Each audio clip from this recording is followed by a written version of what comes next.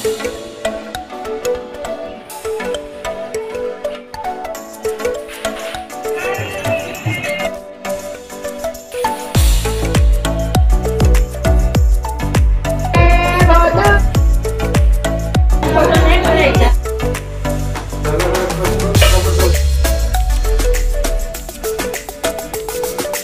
Morning शुभ सकाळ श्री स्वामी समर्थ.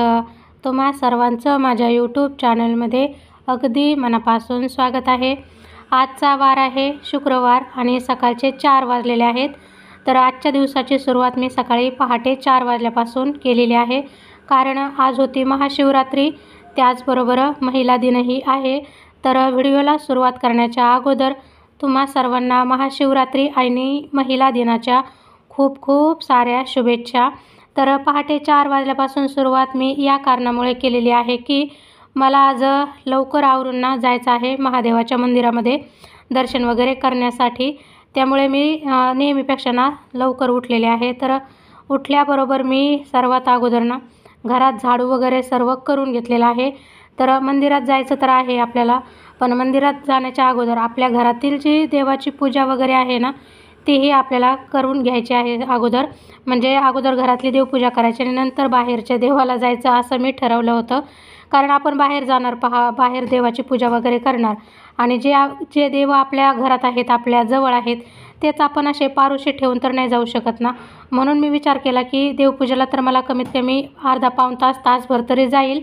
सर्व पूजापाठ रांगोळी वगैरे काढायला. त्यामुळे ना पहाटे लवकर उठून जर आवरलं तर बरोबर वेळेत माझं सर्व आवरून जाईल. त्यामुळे मी सर्वात अगोदर उठून घरात झाडून वगैरे काढलं. त्यानंतर जे बेडशीट वगैरे आहे ना कंबेडवरती टाकलेलं होतं पा खराब झालेली होती ती चादर तर तीही मी मशीनमध्ये टाकून ठेवली. आणि खिडकीच्या बाहेर थोडीशी जागा जी आहे ना रिकामी आहे तर तीही मी पाणी टाकून ना स्वच्छ धुवून काढलेले आहे. त्यानंतर पूर्ण घरात मी प पोछा वगैरेही करून घेतला. तर मी तर चारला उठलेलेच होते पण माझ्याबरोबर हेही चारला उठले होते. तर जोपर्यंत मी फरशी वगैरे पुसत होते तोपर्यंत यांची आंघोळ वगैरे सर्व काही यांनी आवरून घेतलं. कारण मला आज ना महादेवाच्या मंदिरामध्ये जाऊन एकशे आठ बेलपत्र त्याचबरोबर एकशे आठ तांदूळही तिथं महादेवाच्या पिंडीवरती अर्पण करायचे होते. तर ते काम मी सकाळी सकाळी ह्यांना दिलेलं होतं की आंघोळ करून तुम्ही ते करा. तोपर्यंत मी बाकीचं सर्व आवरून ठेवेल. तर टायमिंग पाहू शकता तुम्ही. पाच वाजलेले आहेत आणि पाच वाजेपर्यंत यांचंही आवरलेलं होतं. हे हनुमान चालिसा पठण करतात रोज सकाळी. तर ते त्यांचं चालू आहे आणि माझी ही आंघोळ इथं झालेली आहे. आंघोळ करून झाल्यानंतर मी आलेले आहे किचनमध्ये. रात्री जी भांडी वगैरे घासून ठेवली होती ती मी सर्व लावून दिलीत. किचन काउंटर जो आहे ना तो मी रात्रीच बऱ्यापैकी घासून वगैरे क्लीन करून ठेवला होता. गॅसच्या शेगड्या वगैरे हे सर्व मी रात्रीच साफ करून ठेवलं होतं. म्हणजे दुसऱ्या दिवशी कसं आपल्याला शिवरात्रीचा उपवास वगैरे असणार आहे आणि कुठंही खरकटं वगैरे सांडलेलं नको आपली गॅस शेगडी वगैरे हे सर्व काही स्वच्छ असावं. त्यामुळे रात्रीच मी सर्व आवरून घेतलं होतं. त्यानंतर घासून ठेवलेली भांडी मी ट्रॉलीमध्ये लावून दिली. पुन्हा एकदा ना शेगडी थोडीशी पुसून काढली किचन काउंटर थोडासा क्लीन केला आणि लगेच मी तुळशीची पूजा करून घेतलेली आहे. तर असं म्हणतात की तुळशीची पूजा ही काही न खाता पिता करावी. तर मी साधं पाणीही पिलेले नव्हते. म्हणजे मी आज ठरवलंच होतं की जोपर्यंत मी महादेवाच्या मंदिरामध्ये जाऊन येणार नाही तोपर्यंत मी पाणीही पिणार नव्हते. तर बस तुळशीची पूजा वगैरे मी इथं करून घेतली आणि यांना ना पूर्ण घरामध्ये मी गोमूत्र शिंपण्याचं काम दिलेलं आहे. तर ह्यांचं गोमूत्र वगैरे शिंपून झालं आणि त्यानंतर ते जे बेलपत्र आणि तांदूळ मी त्यांना निवडायला सांगितले होते ते काम करायला बसले. ते काय मला रेकॉर्ड करणं नाही जमलं कारण थोडीशी घाई गडबड होती माझ्या आई पाठीमागे. तर इथं मी छान असं उंबऱ्यावरती ना हळदीचं लेपन करून घेतलेलं आहे. आता ते काय करायचं वगैरे हे मी खूप व्हिडिओमध्ये शेअर केलेलं आहे. त्याचबरोबर मी त्यावरती ना एक शॉर्ट व्हिडिओही टाकलेला आहे की पटकन तुम्हाला समजावं की उंबऱ्यावरती ना असं हळदीचं लेपन वगैरे का करतात. आणि थोडीशी रांगोळी ही समोर मी काढून घेतलेली आहे. सोबतच उंबऱ्याला हळदी कुंकू लावलं फुले वगैरे वाहून घेतली आणि दरवाजाच्या बाहेर छान असा दिवा लावून घेतलेला आहे. त्याला झेंडूच्या फुलांनी ना डेकोरेशनही त्याच्यावरती केलेलं आहे.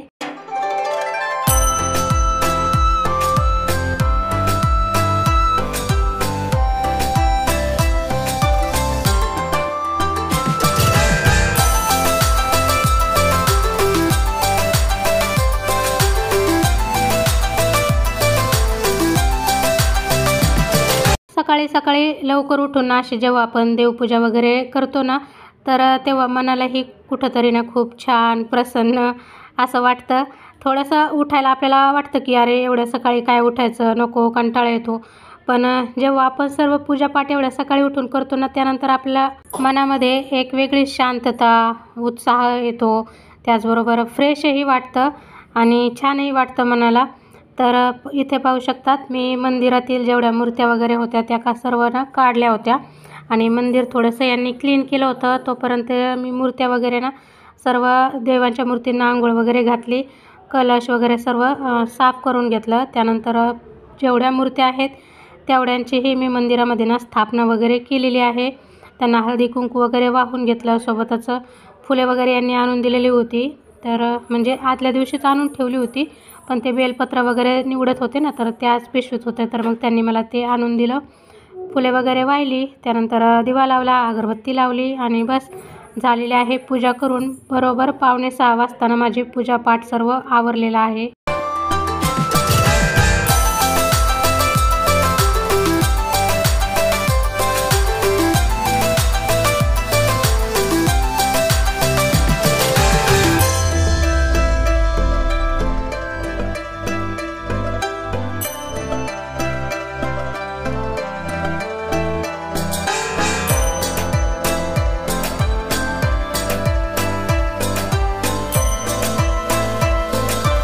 देवपूजा करून झाल्यानंतर इथे टायमिंग पाहू शकतात. बरोबर सहा वाजलेले आहेत.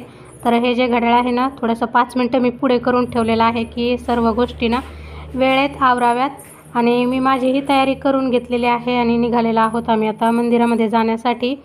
तर जे साहित्य हवं होतं ते सर्व घेतलं. पूजेचं अगरबत्ती वगैरे सर्व काही घेतलं आणि निघालेलो आहोत आम्ही. अर्ध्या रस्त्यामध्ये पोहोचलो आणि त्यानंतर यांच्या लक्षात आलं की जे बेलपत्राची पिशवी होती ना ज्यामध्ये आम्ही एकशे आठ बेलपत्र घेतले होते एकशे आठ तांदूळ घेतले होते. ती पिशवी नेमकीनं विसरून घरी राहिली. त्यानंतर अर्ध्या वाटेत आल्यानंतर हे पुन्हा घरी गेले आणि मी एकटीच जे आहे ना मग पुढे गेले. कारण मी नाही रिटर्न गेले कारण एवढ्या लांबपर्यंत चालत आलेलो होतो आम्ही. आणि रस्त्यावरती तुम्ही पाहू शकतात थोड्याफार बायका काही होत्या ज्या मंदिरामध्ये चाललेल्या होत्या. सकाळी काही ठिकाणी तर कुणीच नव्हतं. पायी पायी मंदिरामध्ये जाण्यासाठी ना जवळपास वीस मिनटं लागतात. म्हणजे तुम्ही जर फास्ट चालत गेलात तर वीस मिनटं तरी लागतात पायी पायी जायला. तर मग हे अर्ध्या रस्त्यामधून घरी गेले आणि मी आलेले आहे मंदिरामध्ये. तर एवढ्या सकाळीही तुम्ही पाहू शकतात मंदिरामध्ये खूप गर्दी होती. मी ही लाईनमध्ये ना उभा राहिलेली होती आणि दुकानंही बऱ्यापैकी लागलेले आहेत पहा बेलपत्र वगैरे दूध ह्याची. तर हे आहे महादेवाचं मंदिर आणि माझा नंबर येऊपर्यंत बरोबर हे ना मग जे बेलपत्र वगैरे विसरलं होते ते त्यांनी घेतलं आणि मग ते गाडीवर बसून आले. कारण पायी पायी यायला त्यांना अजून वेळ लागला असता. दर्शन वगैरे केलं. गर्दी असल्यामुळे ना जास्त वेळ आरामात म्हणजे पूजा करायला देत नव्हते. खूप घाई गरिबीमध्ये ना पूजा वगैरे केली. आणि बस दर्शन वगैरे झालं. तर मनाला खूप छान प्रसन्न वाटलं सकाळी येऊन पूजा वगैरे केल्यामुळे. दरवेळेस आम्ही जेव्हा मंदिरामध्ये येतो ना इथे तर असं नऊच्या नंतर येतोच. पण यावर्षी लवकर आलो तर दर्शनही छान झालं आणि आता ही गर्दी वाढलेली आहे. पाहू शकतात अजून थोड्या वेळपर्यंत तर अजून गर्दी वाढेल. आता हा जो टायमिंग आहे ना तो बहुतेक पावणे सात वाजलेले असावे आणि इथे दर्शन वगैरे आमचं करून झालं. ही जी रेकॉर्डिंग आहे ती यांनी घेतलेली होती. तर मी बस दर्शन वगैरे करून झाल्यानंतर असंच उभा होते इथं. आणि दुसऱ्या दिवशी ना इथं भंडारा वगैरेही आहे संध्याकाळी तर त्याचा बोर्ड लावलेला होता. महादेवाचं दर्शन करून झाल्यानंतर आम्ही आलेलो आहोत इथं. स्वामींच्या मठामध्ये. तर हे बोलले आता घरी जाण्याऐवजी ना अगोदर मठामध्येही जाऊ तिथंही दर्शन करू. आणि मग घरी जाऊ तसं तर मुलांना शाळेला सुट्टी होती पण राजवीरला ट्युशन होती साडेआठ वाजता. त्यामुळे थोडीशी घाई पण होती मला जायची. तर चला माझ्यासोबत तुम्ही श्री स्वामी समर्थ महाराजांचं दर्शन वगैरे करा. इथे आम्ही दर्शन करायला आलो तेव्हा ना स्वामींचा मठ वगैरे जे आहे ना म्हणजे तिथं बऱ्यापैकी पूजेची तयारी सुरू होती. हार वगैरे सर्व स्वामींना घातले जात होते. आणि मग आम्हाला तिथं पंधरा वीस मिनटं थांबावं लागलं. त्यानंतर आरती सुरू झाली सव्वा सात वाजताना. तर मग आरती वगैरे सर्व करून झाल्यानंतरच आम्ही घरी आलो. तर बरोबर आठ वाजत आले होते आम्ही घरी पोहोचलो तेव्हा. घरी आल्यानंतर मग मी इथं रताळे उकडायला टाकणार होते. तर त्यासाठी ना असतात त्याची सालपट वगैरे काढून घेतली. आणि सोबतच काही बटाटे पण मी त्याच्यासोबत उकडायला टाकणार आहे. रताळे सकाळी ह्यांना नाश्त्यासाठी होऊन जातील. दूध रताळं खातील हे सर्वजण. कारण साडेआठला राजवीरला ही ट्यूशन आहे. आणि बटाटे जे आहेत ते आपण साबुदाण्यामध्ये वापरू शकतो म्हणून मी दोन्हीही एकत्रच उकडायला टाकलं. पण एका कुकरमध्ये काय ते बसत नव्हते. छोट्यावाला कुकरमध्ये. त्यामुळे जो मोठा कुकर आहे त्यामध्ये पुन्हा त्याला मी ट्रान्सफर केलं. दोन शिट्ट्या होण्यासाठी ठेवून दिलेला आहे. सोबतच साबुदाणा घेतला होता. तो दोन तीन पाण्याने स्वच्छ धुवून काढला आणि भिजायला ठेवलेला आहे. आणि आता मी इथं माझ्यासाठी चहा बनवलेला आहे. आता तुम्ही म्हणताल की एक कप भरल चहा बनवलेला आहे आणि त्यासाठी मी एवढ्या मोठ्या पातेल्याचा वापर केला आहे पण ना दोन पातेल्यामध्ये दूध होतं. तर एका पातेल्यातलं दूध जे आहे ना ते संपलं होतं. थोडंसं शिल्लक होतं. आता म्हटलं ते दूध दुसऱ्या पातेल्यामध्ये टाकायचं. वेगळ्या पातेल्यात अजून चहा करायचा म्हणजे तीन पातेले होतात मग. तर म्हटलं जाऊ द्या ह्याच्यातच चहा बनवते म्हणजे घासण्याचाही माझा जो ताण आहे ना तर तो वाचून राहील. आणि बस चहा थोडासा ना मी थंड करायला ठेवला आहे म्हणजे ओतल्याबरोबर एवढा गरम चहा तर मी लगेच पित नाही. आणि थोडा वेळ चहा मी साईडला ठेवून इथं तव्यामध्ये ना शेंगदाणे घेतलेले आहेत भाजण्यासाठी. म्हणजे मुलंही थोडे भाजून शेंगदाणे दिलं की तेही खातील. सोबतच मला खिचडी बनवायलाही काम येतील.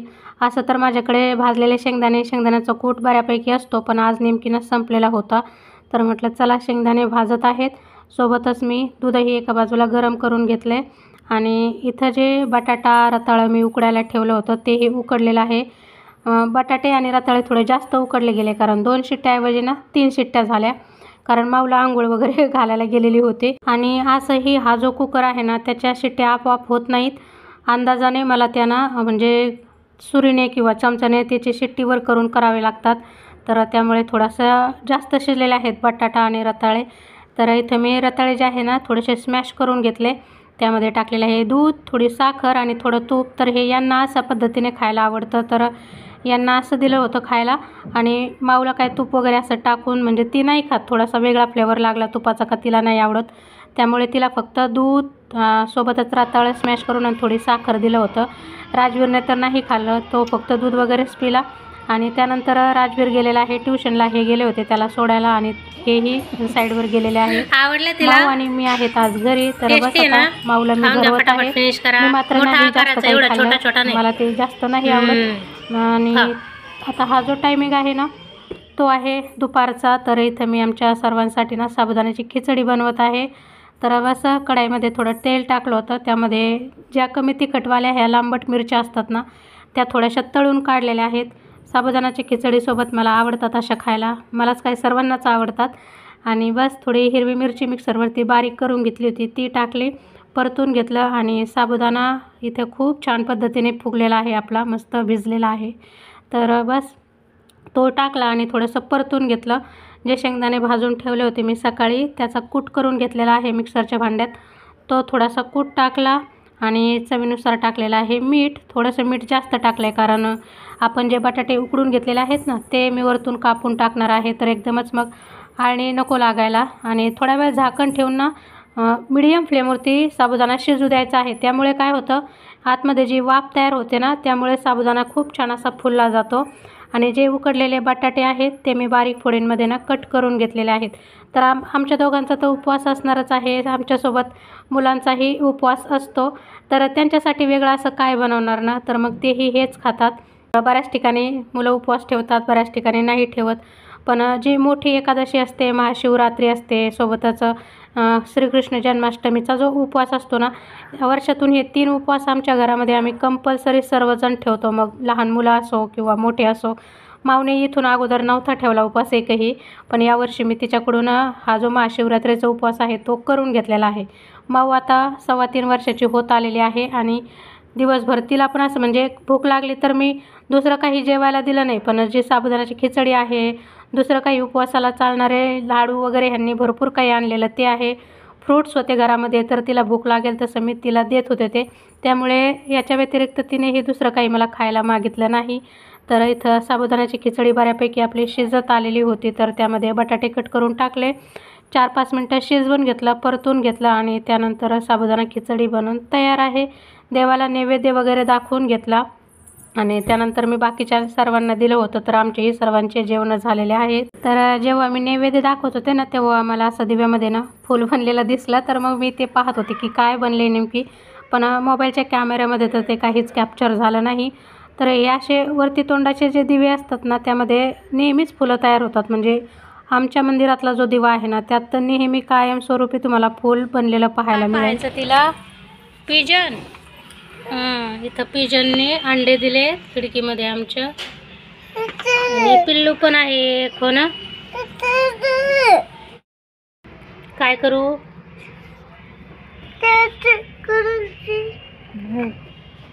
तिचे बाळ आहे तिच्याजवळ तिला परेशान नाही करायचं. ती बसली ना बाळाला घेऊन. तीन अंडे आहेत, त्यातले एक फुटले आणि बाळ या छोटंसं पिल्लू आले त्यातून बाहेर ना? कधी जर पिजन नसतं ना इथं बसलेलं कबूतर ती त्याची मम्मी भूर गेली ना मग आपण पाहू हं. हो दोन पिल्लं आले आज हे बघ. दोन दोन. तर आमची बेडरूमची जी खिडकी आहे ना त्याच्या बाहेरच्या बाजूला खूप सारा स्पेस आहे जिथं आम्ही कलरचे डबे वगैरे जे साहित्य लागत नाही ते ठेवलेलं आहे रिकाम्या बादल्या वगैरे. ह्यांच्या कामावरचं. तर तिथं कबुतराने ना अंडी घातली होती. तीन अंडी होती. तर त्यातल्या एकाची ना काल परवा एकच पिल्लं होतं त्यामध्ये. आणि आज पाहिलं तर दोन पिल्लं निघालेले आहेत. अजूनही एक अंड आहे. तर माऊ दिवसभरातून पाच ते सहा वेळा तिला जेव्हा आठवण येईल तेव्हा तिथं ते जाणारच पाहायला की कबूतर काय करते त्याचे बाळं काय करतात अंडे काय कसे आहेत. तिला खूप म्हणजे ना खूप त्याचे म्हणजे आवड आहे. आता काही दिवसांनी ती मोठी होतील तर मला जर जमलं तर मी त्यांची रेकॉर्डिंग घेऊन तुमच्यासोबत ती नक्की शेअर करेल. तर मी तर त्या बाजूला जास्त जात नाही. म्हणजे मला असं वाटतं की आपण गेल्यामुळे त्यांना परेशानी होती त्रास होतो.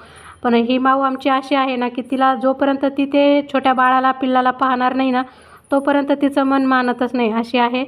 तर ही ही जी वेळ आहे ना ती आहे संध्याकाळची. तर संध्याकाळी मी आमच्यासाठी बनवला होता साबुदाणा वडा. त्याची रेसिपी वगैरे मी काही शेअर नाही केली. सुरुवातीला विचार केला होता की क शेअरच नको करायला पण परत म्हटलं की चला बनवलं आहे तर तुमच्यासोबत थोडक्यात शेअर करावं. तर साबुदाण्याच्या वड्यासोबत खाण्यासाठी इथं मी शेंगदाण्याची चटणी ही बनवलेली आहे. फक्त शेंगदाणे घेतले होते. थोडंसं दही हिरवी मिरची मीठ आणि पाणी टाकून ना त्याची पेस्ट बनवून घेतलेली आहे. तर बस छान असा साबुदाणा वडा तयार आहे. सोबतच चटणी आहे आणि मिरचीही फ्राय केलेली आहे.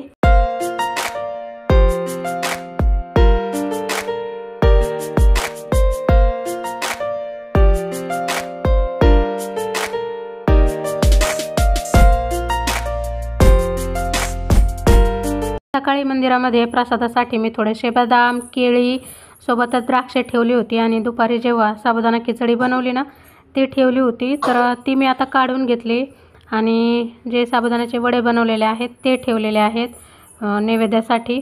आणि हे जे पहिलं ताट मी बनवलेलं आहे ते दिलेलं आहे राजवीर दादा आणि माऊला खाण्यासाठी. लहान मुलं आहेत ना त्यांना भूक लवकर लागते. तर लवकरच आज बनवले होते. जवळपास सात वाजताच बनवले होते मी. तर बस त्यांना आता दिलेले आहेत खाण्यासाठी.